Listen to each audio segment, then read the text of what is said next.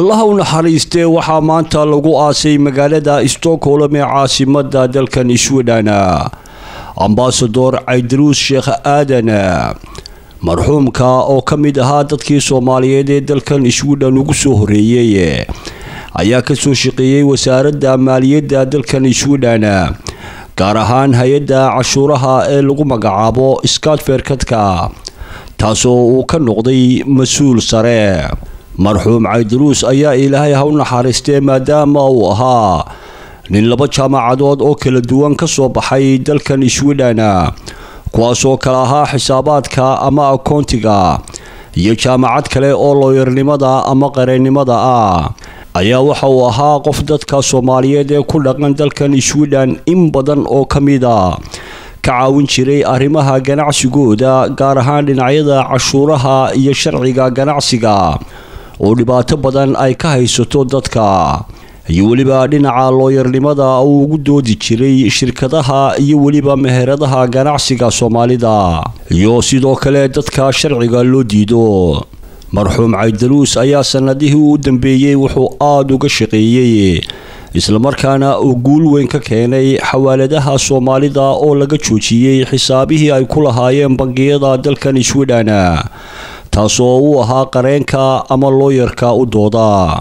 Marxuum caydaruus sheekh aadan ayaa noqday intii uu noolaa qofka keliya ee ku guulaystay ama la siiyey bilad sharaf ama shahaado sharaf uu bixiyo boqorka dalkan sweden taasoo ku mutaystay kadib markii uu malaayiin dollar oo cashuura uu u soo xareeyey dalkan sweden lacagtaasoo siyaabo kala duwan ay shirkaduhu isu dhaafin jireen laakiin uu isagu ku guulaystay qorshaha macquulka ah ee shirkadaha loogu qancin karo inay cashuurta bixiyaan ama cashuurta laga soo qaado.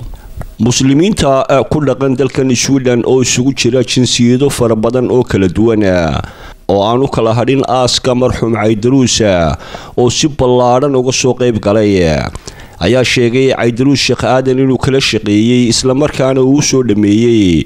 Dhul aada u ballaadhan oo laga dhisayo masaajid kaasoo noqon doona masaajidka ugu weyn magaalada stockholm iyo dalka swedhenba muslimiinta ayaa sheegay in caydaruus uu keenay warqadii lahaanshaha dhulka uu ka soo dhameeyey xukuumadda sweden islamarkaana masaajidka marka la dhiso ay u bixin doonaan magaca caydaruus sheekh aadan marxuum danjire caydaruus sheekh aadan ayaa hore u ahaa safiirkii somalilan ee dalkan sweden xilligii xukuumaddii daahir yaale iyo weliba horaantii xukuumaddii axmed siinaayo marxuumku waxyaabaha uu ka qabtay dhinaca siyaasadda waxaa ka mid ahaa inuu dalkan sweden keenay mas'uuliyiin badan iyo siyaasiyiin ka mid ah somalilan kuwaasoo uu la kula siin jiray madaxda wasaaradda arrimaha dibadda iyo baarlamaanka sweden oo labadoodaba uu la lahaa xidhiidh aada u wacana iyadoo sidoo kale ugu yaraan laba jeer uu la kulansiiyey.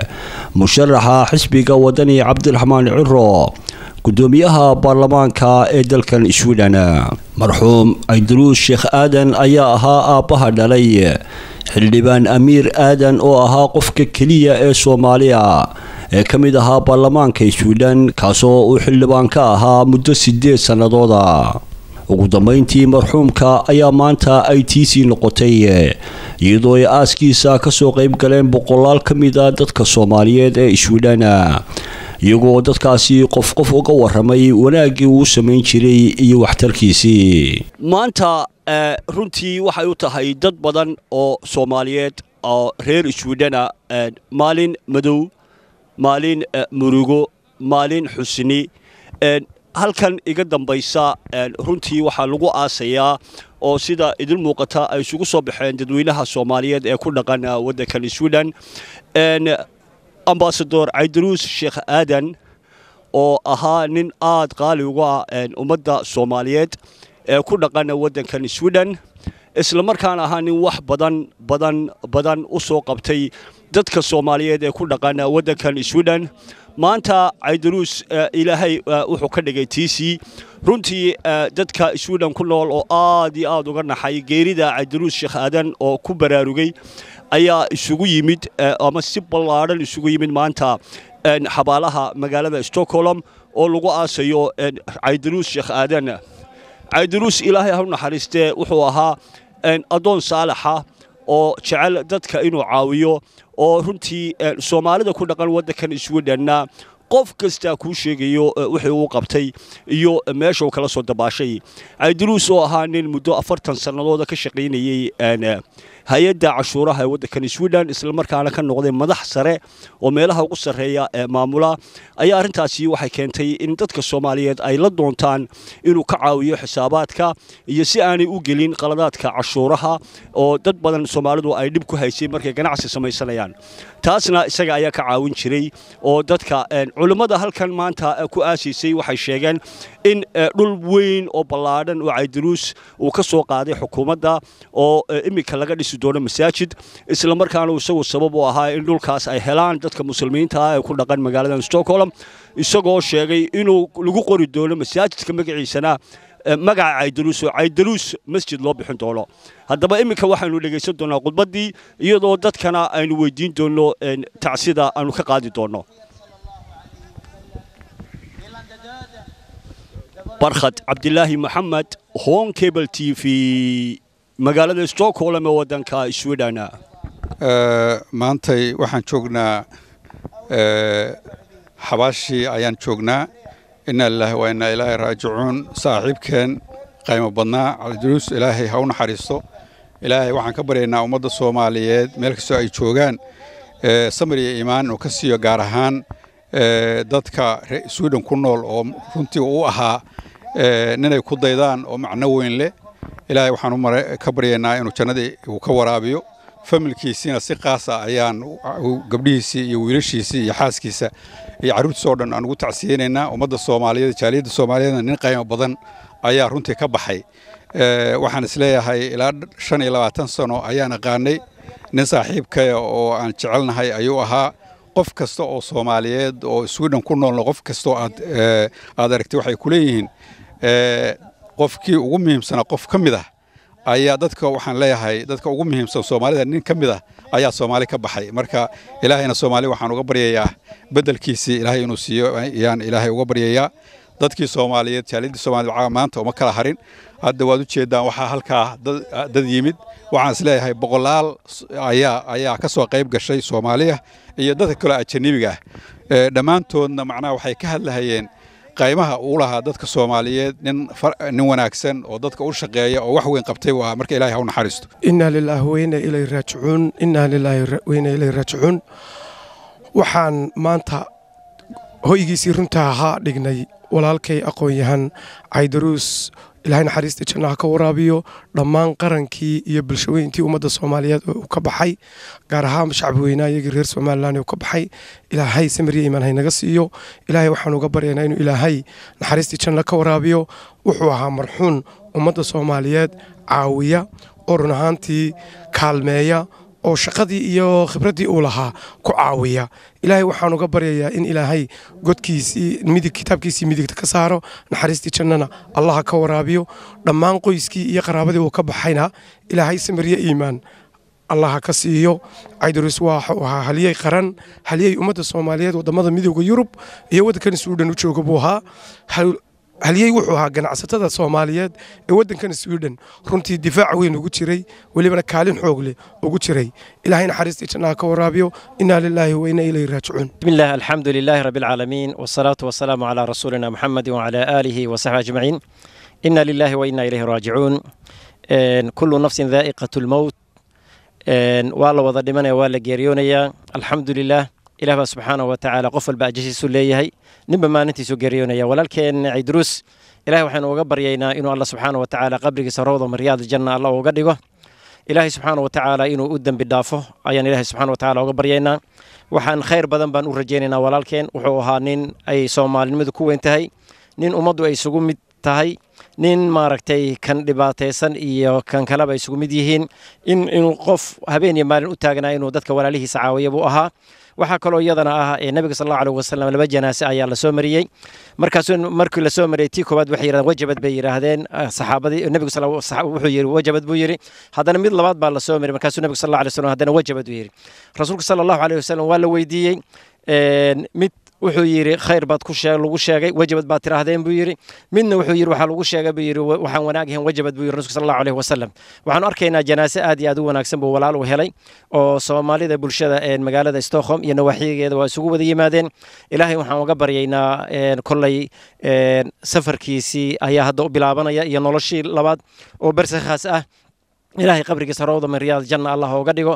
Annagana ilaahay subxaana wa tacaala gadaashiisa nama fitneeyo ehelkii iyo dadkii uu ka tegayna ilahay subxaan samariban allah ka siiyo. Wa sala allahu calaa nabiyina maxamedin wacala aalihi wa bismi illaahi raxmaan raxiim innaa lilaahi wa innaa ilaa raajicuun maanta waxaan soo aasnay marxuun walaalkeen caydiruus sheekh aadan oo ahaa qof aad iyo aad u qiimo badan ka dhex muuqday dadweynaha soomaaliyeed ee ku nool suudhan caydurus quuxa qof aad u sadaqad badan qof caawitaan badan qof kastoo waddanka jooga sudan maadaamu waddanka imi beri hore sideetaniyadii aqoontiisii kardiisa qof kasta oo soomaaliya oo muslina caawiya. Eh, Dee waxaad ka arkaysaa maanta intaasoo qofka isku yimi aaskiisii marka waxaan leeyahay allah u naxariiso cabduruu sheekh aadan samiri iimaan eheladiiya ha ka siiyo faamiliga asalaamu calaykum bismi illaahi raxiim allahuma salli calaa sayidina laa ilaaha ila allah rasuulu rasuulullaahi sala allahu caleyh wasalam uh, walaalkay cadriis ilaahay sabriyey baan dhammaanteen allah inaga wasiya meel kastoo aan joognaba.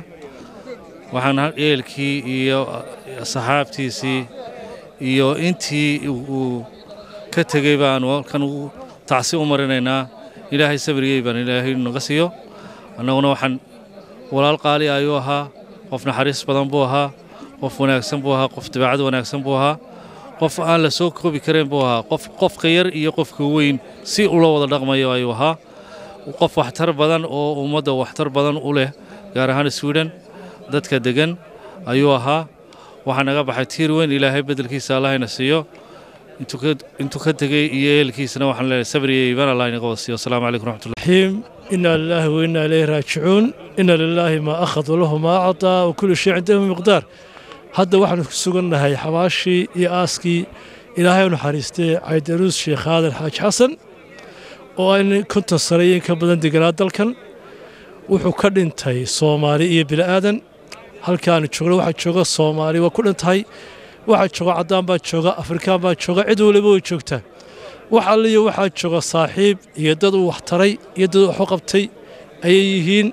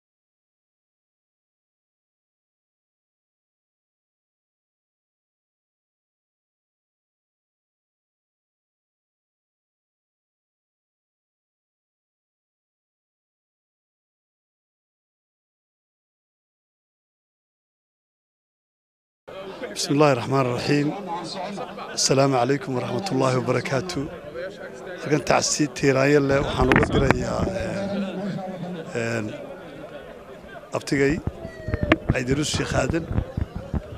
Eh, Run ahaantii muddo dheer intaa aan dhowr iyo soddonkaa sana waddanka joogay waa waanu wada shaqaynayna wada joognay. Si gaara ah anigu toddoba sannadood baan u ahaa ee u ahaa waan la shaqaynayey toddobadaas sannadood ayaan la shaqaynayey een, habeen ismanaa qabsan. Habeen.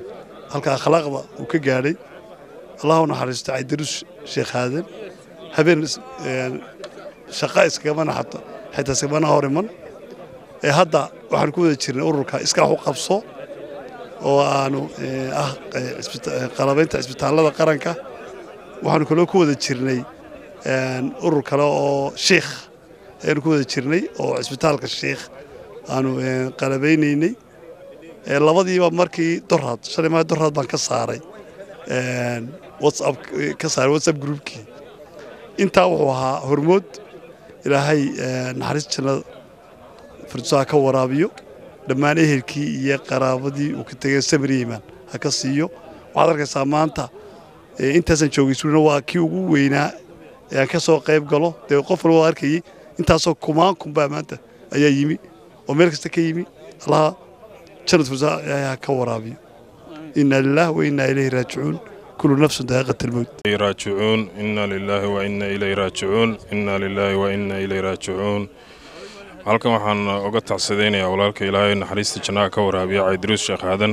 Oo runtii bulshada reer somalilan iyo dhammaan eh, gaar ahaan reer swidhen iyo caasimadda iyo guud ahaan swidhen oo dhan qaali ku ahaa qof qaaliya ku ahaa. Ilaahay waxaan uga baryayaa inuu jannada firdowse ka waraabiyo faamiligiisii iyo eheladiisiina ilaahay inuu samriya iimaan ka siiyo. Runtii qof aad ugu qaaliya ahaa bulshada geerida waa lagu xukumanyahay waana xaq qof walibana waanu dhimanayaa. Waxaan ilaahay uga baryayaa inuu naxariistii janno ka waraabiyo. Dhammaan annagana samriya iimaan naga siiyo. Aad iyo aad baan nuu salaamaya asalaamu calaykum Uh, bismi illaah inna lilaahi wa inna ilayhi raajicuun inna lilaahi wa inna ilayhi raajicuun inna lilaah wa maanta magaalada stockholm waxaan joognaa aaskii walaalkeen caydiruukh sheekh aadan. Oday aqoon-yahan nin muddo magaaladan stockholm iyo waddanka sweden oo dhan runtii haldoor u ahaa oo kudayasho mudnaa ayay maanta aaskiisa joognaa.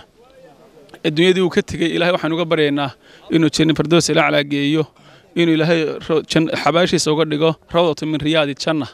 Inuu ilaahay jaarkiisa uga dhigo jaar wanaagsan. Ilaahay inuu qabriga u waasiciyo. Ayaan ilaahay uga baryaynaa ehelkiisii caruurtiisii walaalihiis reer xaaji aadan oo dhan. Intii magaciisa iyo muuqiisa garanaysayna waan ka tacsiyadaynaynaa dhammaan magaalada stockholm baan ka tacsiyadaynaynaa ummadda soomaaliyeed oo dhan ayaan ka tacsiyadaynaynaa waxaan leenahay. Halkii uu ka baxay ilaahay cawl khayr qaba ha inoogu wada bedelo dhammaanteen. Kaalintiisii cid buuxinaysa anugu ma garanayo runtii beryahaas laakiin geeridu waa xaq. Waa aayatu min aayaati illaah innagana cibro qaadashay inoo tahay. Walaalkeenna inaynu halkaa ugu ducayno oo aynu ku cimro qaadanno isagana u ducayno. Ayay inala gudboon maanta.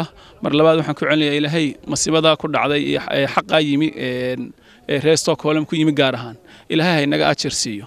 Isagana ha u naxariisto السلام عليكم ورحمة الله بسم الله الرحمن الرحيم إنا لله وإنا إليه راجعون إنا لله وإنا إليه راجعون halkan waxaan ka tacsiideynayna walaalkeen cadiruus oo ahaa shakhsi maaragtay bulshada somalilan ummadda soomaaliyeed oo dhan maaragtay taariikh weyn ku lahaa haliyeyba maanta aynu aaskiisa ka soo qayb galnay.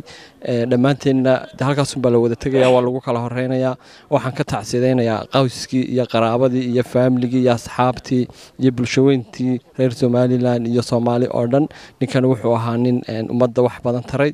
Runtii gaar ahaan anigoo ku hadlay afka xisbiga wadani waxaan aad iyo aad tacsi tiiraanyal halkan uga dirayaa qoyskii iyo qaraabadii iyo faamiligii dhammaan reer somalilan waxaan leeyahay ilaahay simriyamaan idinka siiyo. Ilaahayna isaga jannooyinkiisa ha ku casuumo. Ergeyn u ahayn gobollo badan baa laga yimid runtii.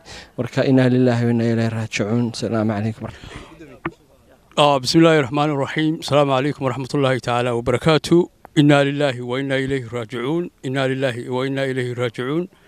Waxaanu maanta halkan waxa weeyaan isugu nimi in aanu foorweel ka qaadanno walaalkeen caydaruus sheekh aadan sheekh xasan oo ahaa icon runtii soomaalida qaaradan yurub runtii ahaa shakhsi ku suntan inuu isku hayo dadka ahaa qof runtii aad iyo aad u wanaagsan oo ay ka go'an tahay in uu dadka hoos u eego wixii caawimo u baahan caawiyo.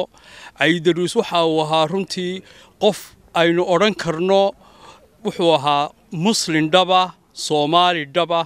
Waxaan ka markhaati kacayaa maanta oo aanu halkan xabaashiisii joogno inuu caydaruus ahaa qofka keliya runtii ee aan dadka kala xigsan ahaa qof caawiyo mid yar iyo mid weynba. Waxaannu leenahay walaalkayo we appreciate caydaruusow wanaaggii aad u qabatay jahaliyaddan iyo dadkan soomaaliyeed ee waddankan sweden ama qaaraddan yuruba we appreciate you kuma ilaawi doonno waa kuu ducaynaynaa. Raxmaankana waxaan uga baryaynaa inuu kitaabkiisa midigta ka siiyo oo uu u naxariisto. Innaa lilaahi wa innaa ilayhi raajicuun. Bismi illaahi raxmaan iraxiim allahuma salli calaa sayidina nabiyina maxamedin sayidi alambiyaai walmursaliin innaa lilaahi wa innaa ilaahi raajicuun. Kullu nafsin daa'iqatilmowt waxaanu joognaa aaskii ay daruus sheekh aadan ilaahay ha u naxariisto. Waxaan leenahay addoon wanaagsan buu ahaa. Ilaahay qabriga ha u nuuro. Qiyaamaha ha u shafeeco qaado. Ilaahay su'aalaha ha waafajiyo. Waxaan tacsi tiiraayana u dirayaa samir ehelkii iyo qaraabadii uu ka tegey. Walaaladii ehelkii oo idil caruurtiisii iyo xaaskii dhan walba qaraabadii oo idil. Waxaanu leenahay samir iyo iimaan saadiqa allah idinka siiyo. Isagana naxariistii janna allah ka waraabiyo sidaa loo sheegay qof wanaagsan buu ahaayo aad iyo aad u qaaliya. Ummadda ku nool stockholmna aad iyo aad iskugu timid maanta. Jiinaasadiisaad ka garataa sida la iskugu yimid caalamkii oo dhammi qof wanaagsan buu ahaa. Waxaan leenahay qabriga allah nuuro qiyaamaha allahu shafeeco qaado. Ilaahay su'aalaha waafajiyo. Dhammaan ehelkii iyo qaraabadii iyo carruurtiisii oo dhan iyo soomaali intii wax tari jiro o dhan sabir iyo iman allaha ka siiyo. Asalaamu calaykum waraxmatullahi wabarakaatu bismi illaahi raxmaani raxiim innaa lilaah wa innaa ilaahi raajicuun waxaan runtii halkan aan aan runtii aan taaganahay maanta oo arbaca aaskii. Nin runtii aan aada iyo aada muddo badan aan saaxiibna ahayn. Ilaa iyo dadka inta badan garan maayaan cayduruuse cayduruus sheekh aadan. Ilaa siddeetanayadii baan runtii isnaqaanay. Wuxua shaksi aada u wanaagsan oo runtii aada iyo aad dadka u caawin jiray sida dadkii hore iga horreeyba ay sheegeen. Waxaa keliya runtii nala gudboon un waxa weeye inaan u duceyno ilaahayna waxaan ugu duceynaa in insha allah ilaahay janno fardoosa uu geeyo. Dembigiisuna ilaahay uu dhaafo. Samir iyo iimaano ehelkiisa iyo ubadkiisa iyo dhammaan qaraabadiisa ilaahay uu ka siiyo. Runtii saad halkan aad ka aragteenba maanta dad fara badan baa isugu yimid. Intaa khalqi isugu yimidna waa intuu runtii uu maal gashaday oo uu caawiyey oo wax taray oo uu la shaqeeyey ayuu ayuu ahaa runtii aniga anigu qudhadda waxaa dadkii runtii la shaqeeyey oo caawiyey ayuan ka mid ahaa waxyaalo badanna. Marka wuxuu ahaa ilaa iyo sideetaneedii sideed iyo sideetankii ayaan wada ayaan runtii aan isbaranay. Ilaa intaana runtii waan wada shaqaynaynay ilaah oo naxariistaan leeyahay samir iyo iimaanna ehelkiisa ka siiyo. Bismi illaahi raxmaani raxiim maanta sweden waxay u tahay geeri aada u weyn. Waxaa maanta la aasay walaalkeen caydaruus sheekh aadan oo hadda aynu ku aasnahay stockholm waxaana ku leenahay ilaah ku naxariiso janatulfarduus alculyaa allaha kuga abaal mariyo. Caydaruus waxa uu ka baxay ummadda sweden bulshada ku nool oo dhan buu ka baxay qaybiga kala duwan. Caydaruus mar labaad wuxuu ka baxay bulshada soomaaliyeed tiir adag buu ahaa. Waxaanu ku xasuustaa caydaruus sifooyinkiisa waxaa ka mid ahaa qof aad u aqoon badan daacad ah karti badan. Waxaan ilaahay uga rajeynaya in ilaahay janatulfarduusa ku casuumo aaskiisii waxaad ka garanaysaa qoomiyad ka maqan maanta. Aaskii caydaruus ma jirto qowmiyad kasta maanta way joogtaa. Se maanta taariikhdiisii halkan qof iyo laba kuma soo koobi karayo.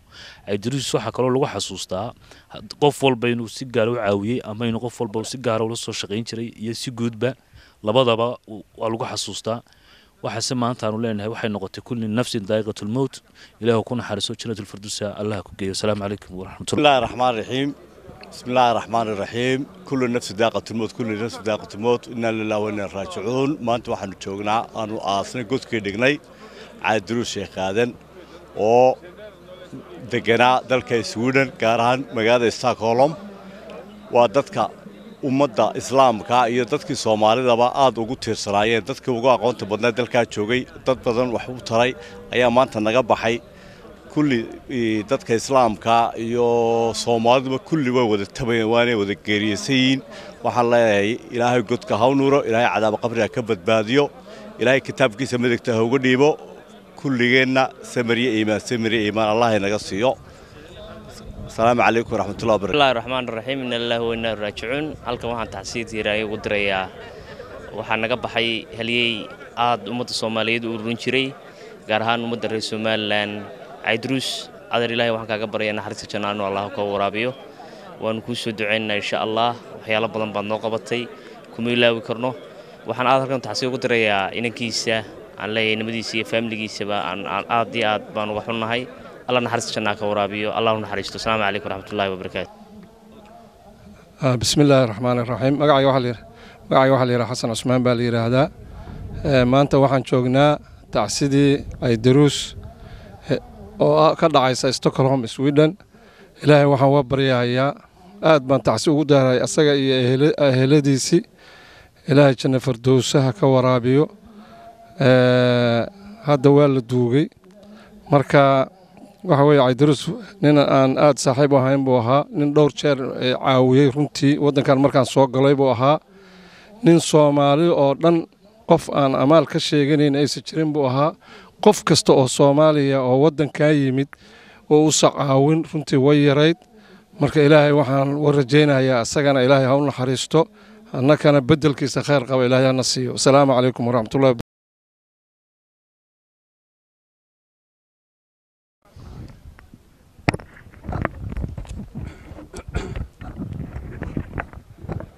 maanta runtii waxay u tahay maanta runtii waxay u tahay dad badan oo soomaaliyeed oo reer swidhana maalin madow maalin murugo maalin xusni halkan iga dambaysa runtii waxaa lagu aasayaa oo sida idin muuqata ay isugu soo baxeen dadweynaha soomaaliyeed ee ku dhaqan waddankan swidhen ambasador caydaruus sheekh aadan oo ahaa nin aad qaali uga ah ummadda soomaaliyeed ee ku dhaqan waddankan swidhen islamarkaana ahaa nin wax badan badan badan u soo qabtay dadka soomaaliyeed ee ku dhaqan waddankan swidhen maanta caydaruus ilaahay wuxuu ka dhigay tiisii runtii dadka swidhen ku nool oo aad iyo aad uga naxay geerida caydaruus sheekh aadan oo ku baraarugay ayaa isugu yimid ama si ballaadhan isugu yimid maanta xabaalaha magaalada stockholm oo lagu aasayo caydaruus sheekh aadan. Caydaruus ilaahay ha naxariistee wuxuu ahaa addoon saalaxa oo jecel dadka inuu caawiyo oo runtii soomaalida ku dhaqan waddankan swidhenna qof kastaa kuu sheegayo wixii uu qabtay iyo meesha uu kala soo dabaashay. Caydaruus oo ahaa nin muddo afartan sannadooda ka shaqaynayey hay'adda cashuuraha ee waddankan swidhen islamarkaana ka noqday madax sare oo meelaha ugu sarreeya ee maamula ayaa arrintaasi waxay keentay in dadka soomaaliyeed ay la doontaan inuu ka caawiyo xisaabaadka iyo si aanay u gelin qaladaadka cashuuraha oo dad badan soomaalidu ay dhib ku haysay markay ganacsi samaysanayaan.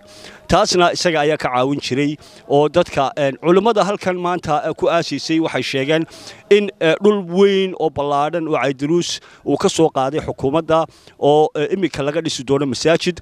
Islamarkaana isagu sabab u ahaa in dhulkaas ay helaan dadka muslimiinta ah ee ku dhaqan magaaladan stockholm isagoo sheegay inuu lagu qori doono masaajidka magaciisana magaca caydaruus oo caydaruus masjid loo bixin doono. Haddaba iminka waxaanu dhegaysan doonaa khudbaddii iyadoo dadkana aynu weydiin doonno tacsida aanu ka qaadi doonno